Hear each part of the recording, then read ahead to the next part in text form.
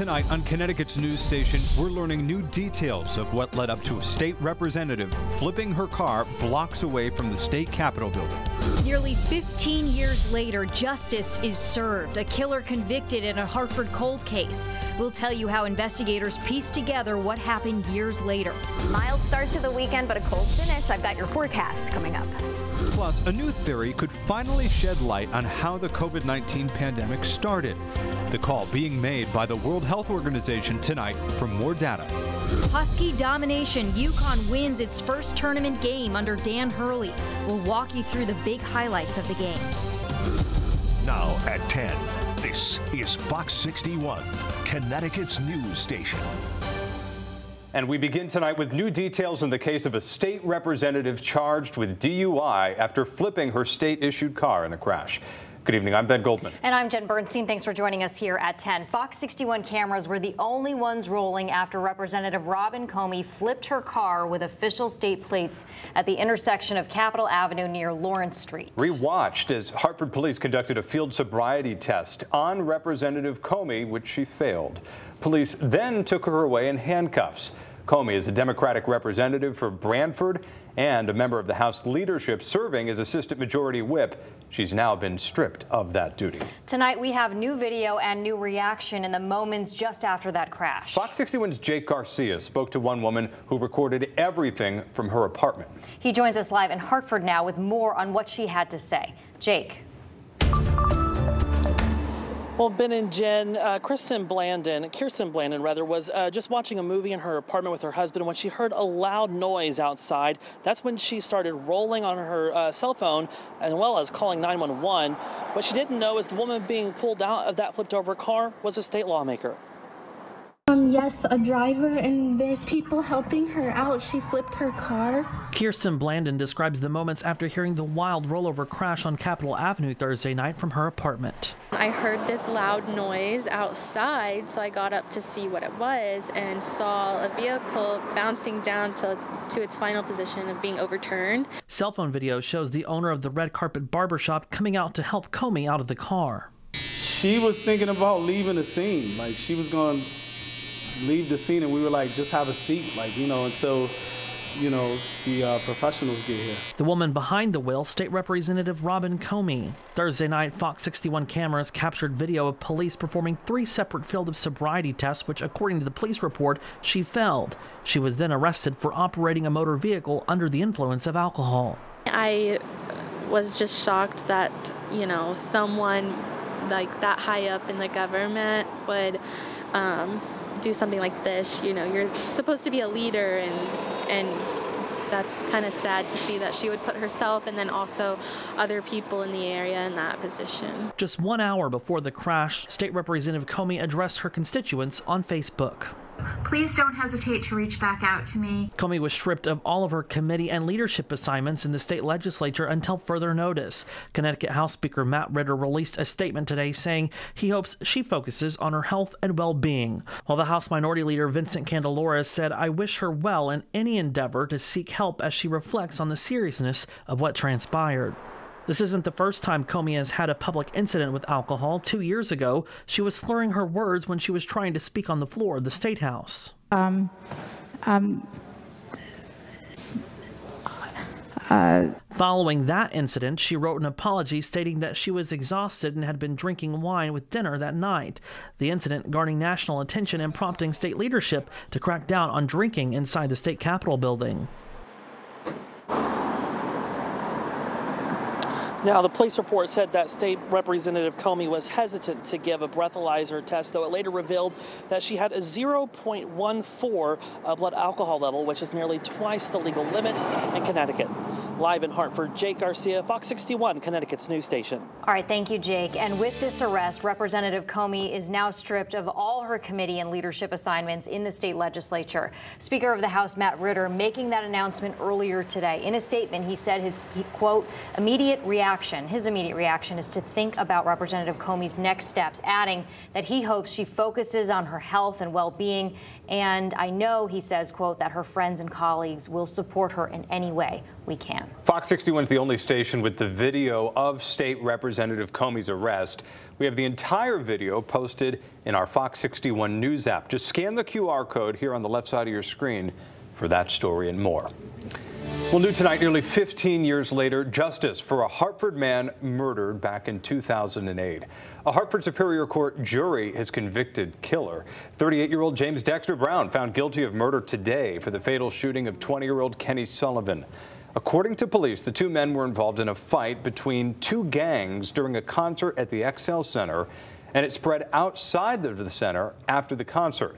It took 10 years for police to arrest Brown after a witness testimony linked him to the scene. He's set to be sentenced in June. Also new tonight, Connecticut State Police have announced they arrested a Tennessee State fugitive in Marlborough.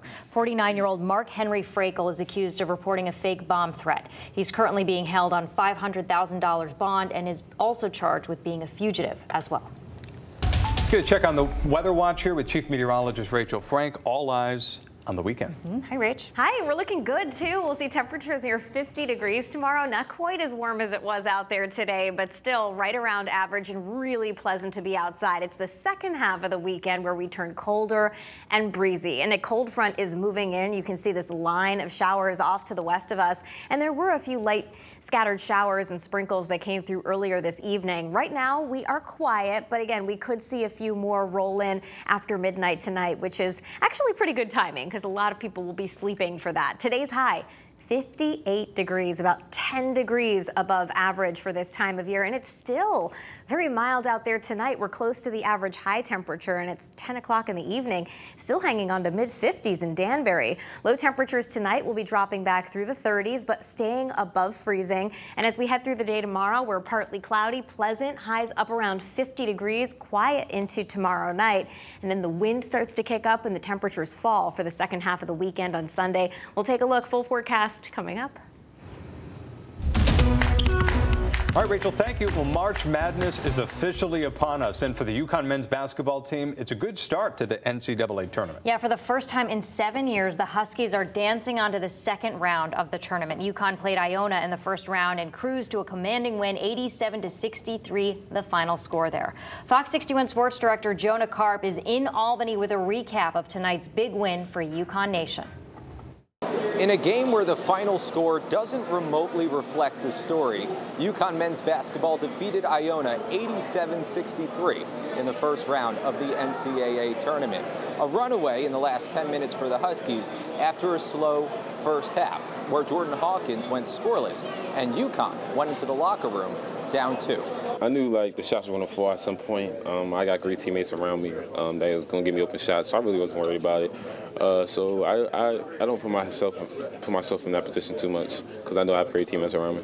And a major reason for the second half turnaround, UConn's dominance on the boards. The Huskies had twice as many offensive rebounds as the Gaels, leading to 17 second chance points. Trying to find inside position on the offensive and defensive end to go up there, grab the ball, you know, chin it, don't don't turn the ball over, you know, just you know, helps us out a lot. And, you know, rebound the ball. Um, you know, it's just that's just one thing coach emphasized throughout the week is like you know they don't have the tallest tallest center, so you know we got to dominate on the backboard, and you know we did that tonight.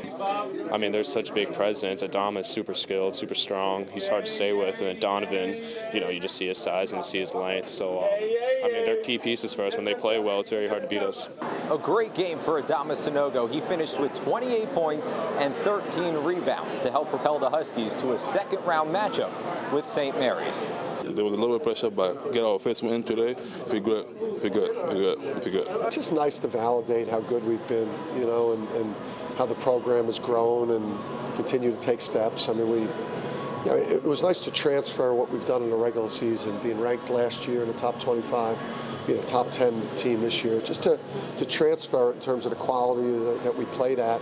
And we've kind of got that monkey off our back, and now we could just kind of relax and go play the best teams in the country. The win is the 250th career victory for head coach Dan Hurley, his first in the NCAA tournament with the Huskies, and the first time UConn is moving past the first round in the Big Dance since 2016. Next up, a second round matchup with St. Mary's, the two teams back here at MVP Arena on Sunday. From Albany, Jonah Karp, Fox 61, Connecticut's news station. Let's go Huskies. All right, Jonah, thank you. From one Gaels team to another, UConn now moves on to the round of 32 to take on number five seed St. Mary's from the West Coast Conference. The Huskies and the Gaels have never faced one another in NCAA history. St. Mary's held off VCU in the first round to advance. The Gaels have had a good amount of success at a big dance, advancing to the second round three out of their last four tournament appearances. Meanwhile, this weekend marks the start of March Madness for the UConn women's basketball team as well.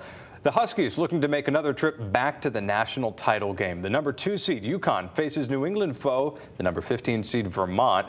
Tomorrow's game is essentially a home game for UConn as the Huskies will play in Storrs at Gampel Pavilion. If they advance to the next round, their second round matchup will also be played right at Storrs as well. Well, Fox 61 has you covered on all things March Madness as we follow the Huskies on the road to the national championship. Our coverage with sports director Jonah Karp continues into the weekend with the men's and women's basketball teams on air, online, and on the Fox 61 app and anytime on Fox 61 Plus. Well, they don't call it March Madness for nothing. For just the second time in NCAA history, the unthinkable is reality. A 16 seed has knocked off a number one seed in the men's basketball tournament. This year's Cinderella Fairleigh Dickinson, the 16 seed from New Jersey, playing spoiler to number one seed Purdue and shocking the college basketball landscape, winning 63 to 58. Again, this is just the second time a 16 seed has defeated a number one seed in the men's tournament.